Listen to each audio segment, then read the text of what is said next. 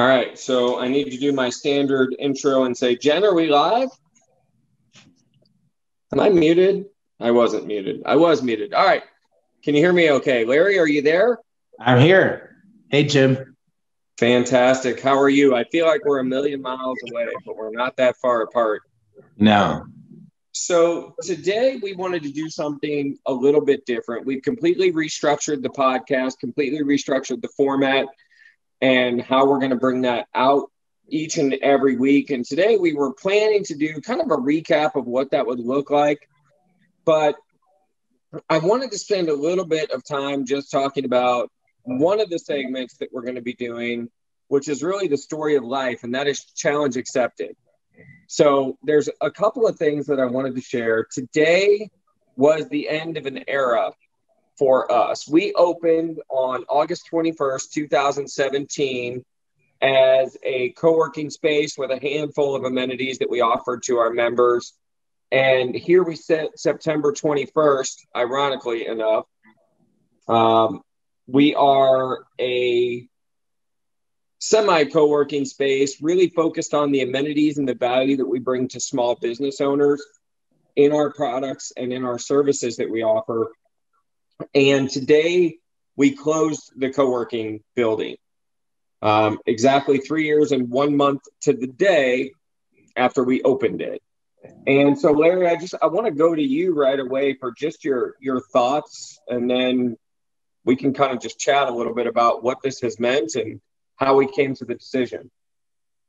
Well, I mean, my first thought is like how incredible it was to have connected with the hundreds or thousands of people that walk through our doors and the relationships that I've built and the people that I've learned from, the community, the neighborhood that we've been in, you know, the, the city that we've been a part of. So eh, I just met such incredible people, which was the sure. reason I wanted to do co-working. I just I thought what a great concept to be around, you know, different types of entrepreneurs every day, all looking to grow themselves and to grow their business. So, um, my first thought is that I'm very blessed to have had this experience and to have, you know, been and a part of the Fox Park neighborhood and just a part of the entrepreneurial, the the dream builders of St. Louis. For sure. I couldn't, I probably couldn't have said that any better if I'd had time to prepare and rehearse.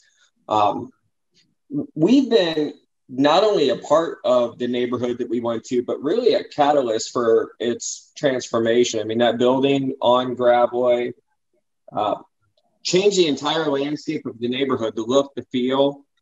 And I'm just curious what your thoughts are about the building itself, because the building, we always talked about the building was alive, right? You walked in, there was something you felt when you walked in that front door, and it's going to be tough to walk away from that. Yeah, I love that building, and you know, probably for a period of time, um, if I'm heading that direction, I'm going to have to take an alternate route because I'll be feeling a little sad driving by that space and not seeing us in there. But I did love the building. I loved the history of it, the way it looked, obviously the way it felt, because it was something that we chose to call home. Yeah, and I don't know, there was a point in time, and this has changed a little bit over time, but I think there was, with the exception of Christmas Day, there was well over a year period that I didn't miss a single day at the building. And maybe closer to two years because we started in August, and I think I was actually there on Christmas Day of 2017. Uh, but I was there every single day for a year and a half, or maybe even two years, and it was really, it was really our life's work. So let me ask you this, Larry. What was the deciding factor for you in deciding to leave? Well, I mean, I had made my decision several months ago. So the deciding factor for me was when the pandemic hit, when COVID hit, I immediately knew in March that collaborative workspaces as we know it and events as we knew it to be were not going to be viable for a long time. And I've learned in business that that one of the keys to success is the art of pivoting. I've learned that in my personal life too. So um, I stepped away from NexCore, you know, right at the beginning of April. So today just kind of yes, know, I remember. Yeah, it kind of wraps it up. But I, but you know, things come and things go. You know, I know it sounds like a cliche, but when one door closes, another opens. But I knew our model was dead um, in early spring. Yeah, and you you talked about that openly, and I will tell you, it was really when we started putting some things together and made the decision that we were going to evaluate our business. And one of the things that we did, one of the things that we talk about with every single client is there's things that you have to focus on, and there's things that you have to continuously revisit, continuously evaluate if you're going to grow. And you look at it, company after company after company failed to evolve. And you can name giants of their right. time and in their industry, Woolworths, um, you know, Circuit City, major, major retail players, Borders, Linens and things, just gone. Montgomery Wards back in the day was a huge organization. And then various versions of thousands of other companies who failed to evolve, failed to grow, and then eventually succumb to their unwillingness to change. And one of the things that we started talking about is what should every company look at? What should every company or every business owner evaluate and evolve through? And we came up with the Focus 10. And in no particular order, the Focus 10 is what are you offering to your clients and how do they feel about it, basically? What is your presence? How do you promote? What about the money? Are you making enough? Are you keeping enough? Are you spending too much? Um, what is your team and your support system? What processes do you have? And then, of course, then there's you as the business leader, manager, owner. You have to be willing to assess what you're doing, evolve, make the changes necessary, difficult, painful, whatever, you have to make those changes or you won't grow. And not only will you not grow, but you will perish. So, Larry, what are your thoughts? Yeah, if you don't, I mean, if you don't adapt, you die. So um, that's true with businesses. It's true with species. It's just it's it's part of the cycle of life, so to speak. And so we, you know, for me, I wasn't ready to die. I was ready to reinvent or reincarnate or, or transform or evolve or uh, however you might put it. But uh, for me, the the essence of NexCore lives on. The body of NexCore dies. So it's a little bit. Uh, we were just in Galveston, Texas, um, walking along the Gulf Coast, and I'd see like the you know the snail shell or the oyster shell, and you know that the the shell was the place that they lived, but it wasn't the essence itself. So we kind of we kind of shed our physical space, we shed our outward space, we shed a lot of the services what we do, but the the essence of it, the spirit of NexCore, which is um, defined in in um, building and promoting small business owners through um, you know designing and guiding their businesses. It's all part of the focus 10 you know the, building the interior of yourself because if you don't have a strong centered self your business probably won't involve you know proper fiscal responsibility etc that part of NexCore can live anywhere. It could live it could live at the Schnucks uh, checkout line because I'm if I'm at the Schnucks checkout line and I represent that. So um, it just means we shed a shell. We just we no longer.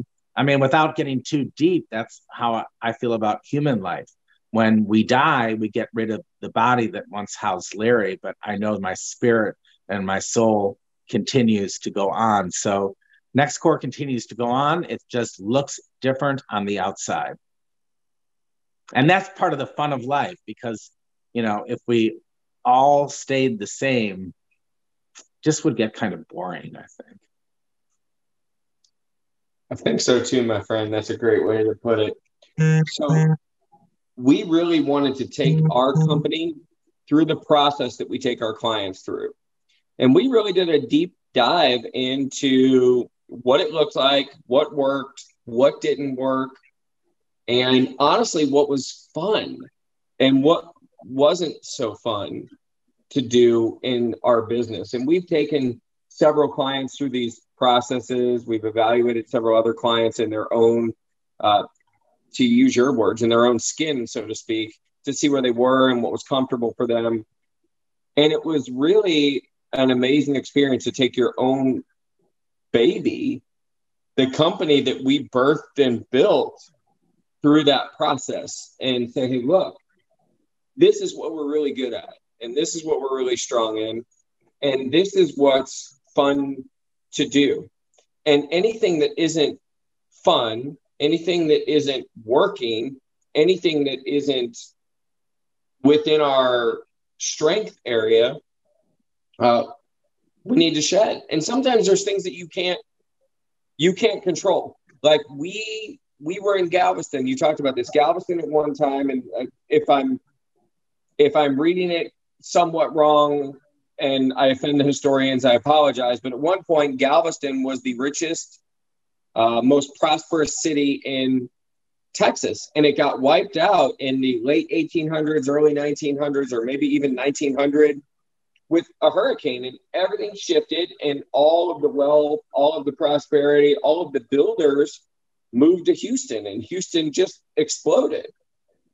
And those are factors that you can't control, right? We couldn't control COVID. We can't control what happened. Um, but know this we were listening to Jim Rohn in the car, and he said the same wind blows on everyone the wind of opportunity, the wind of disaster, the wind of change.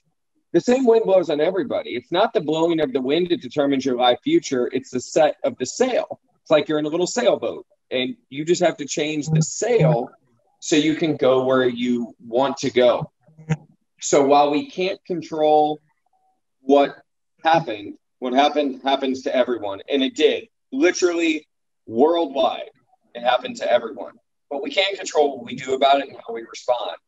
And this was a this was a big look inside of ourselves, I think. And I know you probably can take that a little bit deeper than than I can. But the decision to close was not easy, and it was it was weighted on where the opportunities lie next. Do you want to share anything on that? Yeah, and also like and at the same time, I don't want to over dramatize it. Hundreds, thousands, tens of thousands of businesses across the country have closed, have reinvented themselves. I just read about a business um, on North Kings Highway near Page or Union it had been there for 96 years, a lock, locksmith shop. They closed. Um, they closed their physical location. The owner, you know, it's a generational owned business. They're going solely mobile now. So, you know, what's happening to us is very common. We are not special. We are not unique. Um, you know, so it, it's it's a big deal, but it's not a big deal. And in the scheme of life, it's just like hardly worth mentioning. There are so many other things going on. Um, to the people that are affected by NexCore, obviously it's it's a bigger deal, but it's important in just in general when life alterations or hiccups happen that you keep sure. in perspective and you know you make humor of it and you do the best you can and you go on and you know um, it just it just you are where you are it is what it is and in the end you know everything always works out. It does. So we'll move forward we'll reinvent we'll touch more lives as we go forward we'll have you know more opportunity. And uh, for me i already feel that this is the best thing that happened. Best thing that could have happened. Hands down no doubt Right. And can I give you a secret of why I know that? Are you talking to me or our listeners? Yeah, well, the audience, but I know the audience can't respond. I just well, want to give could. you. I'm listening. Please yeah. ask. Please tell this, me this. This, this. Here's the secret of why I know that to be true. I'm not a psychic, so I obviously don't know what tomorrow, what next month, what next year or five years will bring for NexCore. We could be dead. We could be locations all over. We we don't know. So if you if anytime in your life you don't know what tomorrow brings, you can either lie in the fear of it, in the trepidation of it, and the negativity of it, or you can lie in the positivity of it, the future, the hope. So I'm just choosing to select that it's going to be an awesome reincarnation for an core that we're going to look back and say, oh my gosh, this was one of the best days. And like, we would have never met so and so. We would have never, ever had these experiences. So I'm choosing to kind of not create my reality, but attract my reality through the way that I feel. And, you know, that's, that translates through so many different areas of our life, Jim, and to anyone who's listening. We don't really know when you get, you don't really know. I mean, you don't know what's going to happen. So just I just I choose the best. I choose the best. I try to feel the best that I can. So for now, like I, I'm just I'm confident that it's going to be the best decision ever. So um, this is an exciting time for us. This is an exciting time for me. This is about new beginnings, fresh starts. You know, you, you, I always tell everyone that I work with every second of every day, you have a chance to make a new start the you know your your reality is old news because what you live today is a some you know a, some composite of your previous thoughts actions and beliefs. So every second is new. This is new now. Though you you're not the same person that you were listening to 20 seconds ago or a minute ago you know so every moment and every day we have a chance to reinvent myself. So i feel grateful for covid. I feel grateful for the pandemic. I feel grateful for the opportunity to reinvent um, we've already met some some really neat people at, at, the new location. Never would have met them if it wasn't for COVID. So, um, you know, cheers for me. You know, cheers right. for us and, and, for you out there too. For anyone yeah, listening. And, and it's so interesting your perspective on things because it. You know, I've known you for going on ten years now, and when I, can I confess something to you? Yes so when I first heard you talk, I was like, man, that guy is full of it.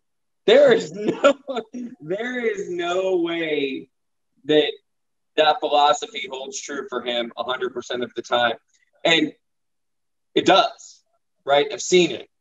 And whatever it is, there's two realities for every situation. You you choose the reality that is most pleasing to you and you are a master at that. And I, I just want to say, you know, honestly, and I just put this on Facebook. I tagged it and I sent it out there. I said I've thoroughly enjoyed this ride, and look forward to the next chapter that that starts tomorrow. NexCore, let me just be clear to the world. NexCore is not gone. NexCore is not dead. NexCore will live on bigger, better, badder than ever. In fact, tomorrow we're going to make a big announcement about NexCore that I think you guys will like to hear. I think you'll be excited about. So, um, Larry, my friend, I love taking this ride with you. Uh, I love where we're going next. Um, I wanted to share that on the Jim and Larry show, not because they're one and the same, but because the shape that we have taken collectively over this last three years and the change and the transformative components of what NexCore has meant to us are really what's fueling and shaping the Jim and Larry podcast that's coming out. And we hope to impact a lot of people with this product, with this service, and with, with this offering. I'm going to give you the final word and uh, just say thank you. Thanks to everyone who's listening right now. Now, oh, uh, maybe I should take one more thing. Next week, the brand new podcast format comes out. I think you're going to love it. We're going to get back to our roots a little bit. We're going to have some uh, some energy, a little more banter. We're going to talk about real things impacting real people and how real champions and real warriors combat those to make themselves even better. But Larry, the final words, my friend, are yours. Final word is I want to say to everybody that I came in contact with at the um, location in Fox Park. I'm deeply appreciative to have met you, deeply appreciative to have, you know, intersected with you and and and hopefully um, being in the space somehow brought some value to you. Uh, we always believe that opportunity is a byproduct of collaboration, and we that's what I'm about. That's what we're about. So my final word is thank you. I'm blessed and appreciative to have been on this journey for now.